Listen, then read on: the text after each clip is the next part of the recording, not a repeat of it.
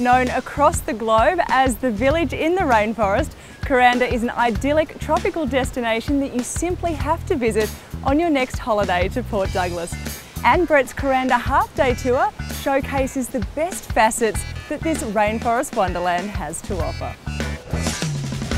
Brett's comprehensive Kuranda tour kicks off with an 11am pickup at your accommodation venue of choice, giving you the chance to enjoy a relaxing morning before your big day out. Soon you'll be gliding over the tropical canopies after climbing aboard the Skyrail Rainforest Cableway. The multi award winning transportation system spans across 7.5 kilometres of untouched natural terrain, and you can stop off along the way to explore Red Peak and Barron Falls Rainforest.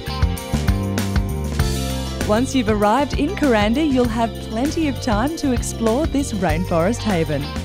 Pursue the fine wares and handcrafted artwork at the open air markets answer the melodic call of Birdworld, visit the Australian Butterfly Sanctuary, or how would you like to get up close and personal with one of these?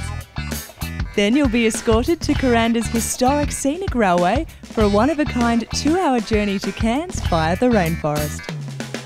Weave your way through this lush environment while taking in spectacular views of rushing waterfalls, towering cliff faces, and sweeping ravines.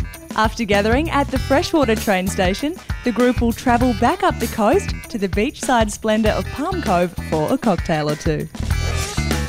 So, when you're looking to experience the true treasures of far north Queensland, rest assured that you can place your faith in Brett's Kuranda half day tour. These guys won't let you down.